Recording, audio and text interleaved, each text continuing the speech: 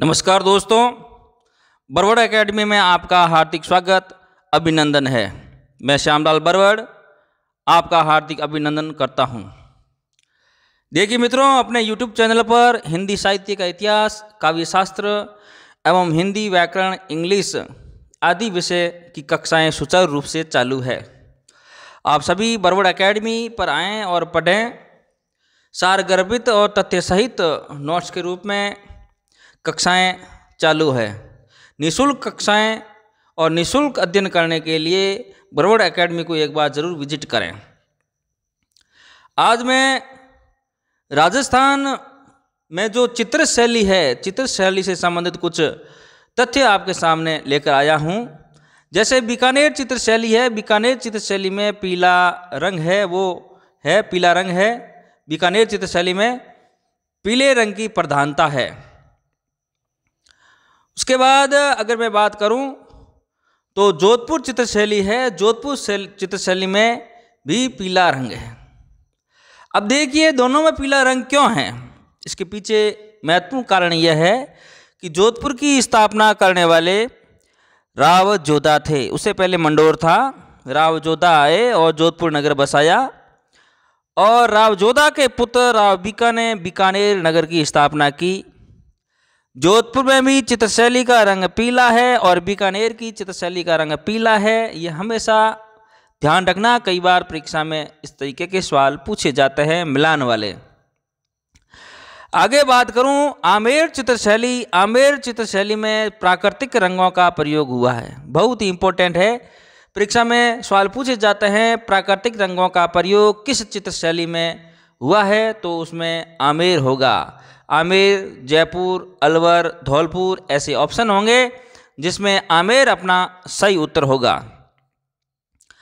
आगे मैं तीसरी चित्रशैली के बाद बात करूँ तो वो मेवाड़ चित्रशैली है। मेवाड़ चित्रशैली में लाल व पीले रंग का प्रयोग हुआ है।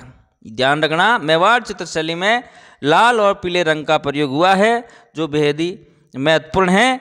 और आगे है किशनगढ़ चित्रशैली जो आपके सामने बनीठनी का एक छाया चित्र है और इनको भारत की मोनालिसा भी कहते हैं, नागरीदास चितेरे हैं, नागदास प्रमोदार, नागदास चितेरे थे और इसमें सफ़ेद और गुलाबी रंग का प्रयोग सबसे ज़्यादा हुआ है। देखिए मित्रों, ये सवाल कई बार परीक्षा में आता है, भारत की मोनालिसा या राज, भारत की मोनालिसा तो किशनगढ़ की जो बनी ठनी है या इसे पूछ ले, किशनगढ़ की शैली में किस रंग का प्रयोग हुआ है, सफ़ेद और गुलाबी रंग? ठीक है ना?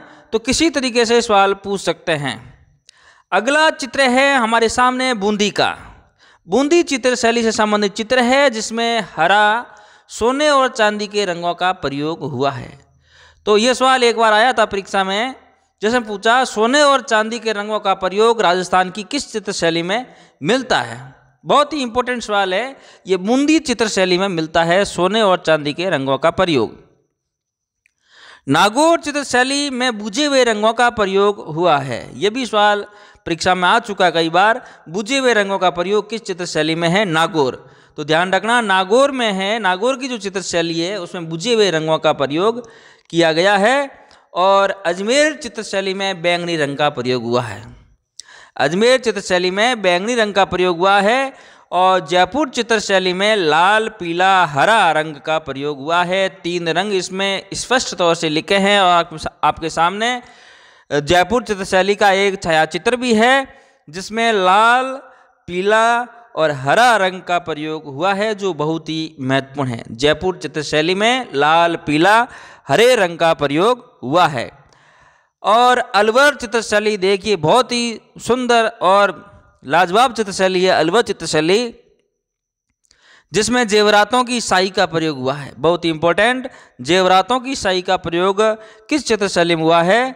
तो वह है अलवर चित्रशैली में हुआ है।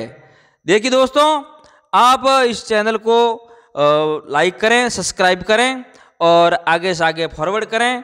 मैं आपका अति आभारी रहूँगा और एक बार बरवड़ एकेडमी चैनल को ज़रूर विज़िट करें सब्सक्राइब करना ना भूलें और पढ़ें। मैं आगे से आगे ऐसे कई वीडियो आपके सामने पेश करूँगा। आज इतना ही, नमस्कार, धन्यवाद।